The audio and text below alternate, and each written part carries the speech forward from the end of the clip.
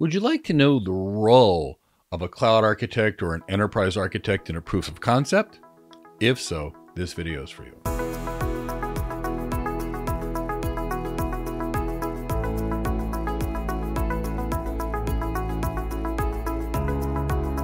My name's Mike Gibbs. I've been all types of IT architects for the last 25 years, mostly an enterprise architect.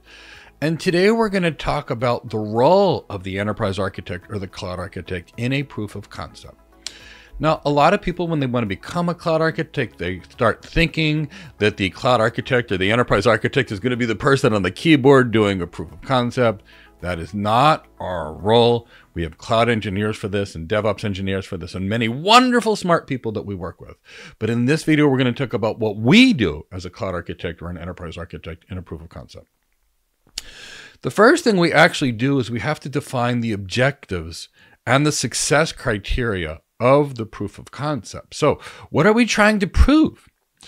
So, before we even think about it, we have to clearly define uh, the business and technology problems we're trying to solve with our proof of concept. We need to determine what's going to be in scope and uh, what's going to be out of scope and explicitly know that and map that out. We need to clearly define the measurable outcomes. What are the performance benchmarks, for example, we're trying to achieve? Is it cost reduction? If so, what are we seeing? Does it improve scalability? And if so, how are we measuring that? So the first part of it is to define clear objectives and success criteria.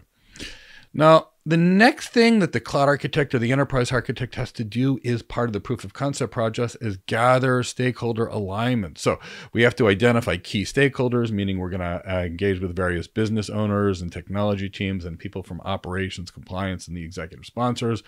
We're going to have to uh, communicate the value of what we're trying to achieve here.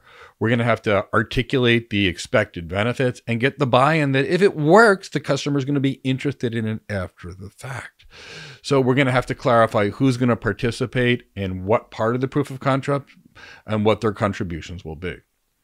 Now, after we know what we're trying to do, now we're going to plan the proof of concept. So we're going to have to document the requirements. And that means, you know, we need to know first what are the functional and non-functional requirements that we're trying to to support here. We need to create a timeline and obtain uh, outline some maybe some key milestones, some deliverables, and some deadlines. And we need to know what kind of resources it's going to need because we're going to have to bring in people to do this. Potentially technology, potentially people, and we're going to need a budget for the proof of concept. Now, at that point, now the role of the architect, like the cloud architect or enterprise architect, it was to assemble the team for the proof of concept because you're not going to build it yourself. You've got many more important things to be doing. So you may bring in some specialty uh, engineers that are going to do certain things inside of their areas of expertise. If it's a proof of concept that could take six months or longer, you might need some project managers to help you along the way. And typically a fair number of engineers to build out the proof of concept if it's going to be complicated, what you're trying to prove. Now, with this team, you're going to have to set up all kinds of communication channels. You're going to have meetings. You're going to have reports. You're going to have to collaborate. So that's going to be a lot of it. Now it's going to be the proof of concept. And here's what the architect does during the proof of concept we manage the team.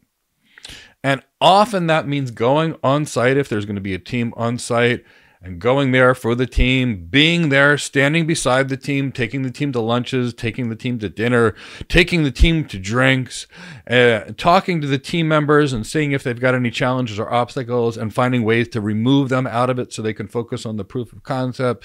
If you need to get better resources because something isn't working well and you need expert, expert, experts that you didn't think ahead of time, your role during the proof of concept is to reach out to management and escalate and get more resources that you need or more specific resources, and you're there to make things are going smoothly, take the client to lunch, you're there to manage the process, not touch the tech. You need to be in this position where you can really help.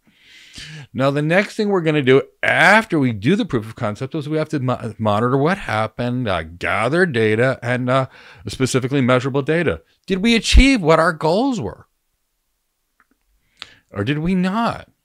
Uh, and going back and forth when we monitor the findings, we document the findings, we're going to keep communicating back and forth with our stakeholders. So we're going to make sure that we do these things. And if there's a list of issues, we're going to log them and potentially find fixes for them as well. Now, after it's documented, we're going to analyze the outcomes. We're going to see did it meet the goals? And if not, what were the gaps between what we planned on achieving and what we actually did achieve? And then we're going to run some kind of business case cost benefit analysis to see if it makes sense to move forward with the architecture.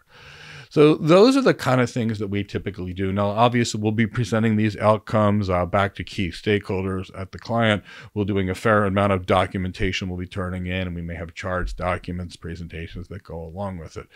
So you can see there is so much for the cloud architect or the enterprise architect to do in a proof of concept other than touching the technology itself. And that's why we typically aren't able to do this, and we need a team that specializes in doing this and doing this smoothly while we manage the process. Now, if you're looking to become a cloud architect or an enterprise architect or a security architect or an AI architect, in the description of this video, we have free architecture guides and we have a free architecture webinar that we do each week where we'll talk about the architecture role, the skills you need, and go over everything. And of course, you can ask us questions on these free cloud architecture or enterprise architecture, security architecture, AI architecture type webinars that we do. And that way we can guide you into the best architecture career. So please join me on a free webinar.